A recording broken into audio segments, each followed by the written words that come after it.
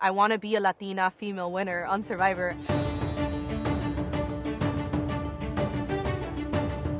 So I was born in Cuba, being an immigrant. I have grit. Started working at like 14 and I've been hustling my entire life. Back in 2019, I met my business partner. While we were packing to go on our trip to Bali, we couldn't find any backpack that we like. Let's just make our own backpack. And it's still going strong, thank God. I think someone will look at me and just be like, oh, she's like a pretty face and she doesn't like to get down and dirty. But I'll get dirty like any day out here. we're not here to look pretty, we're here to win. I hope to be remembered as someone who cared about the people around her. I'm gonna be that person that sits next to you and people don't forget how you make them feel. I've always been someone who signs up for things that scared me. I thrive in the unknown.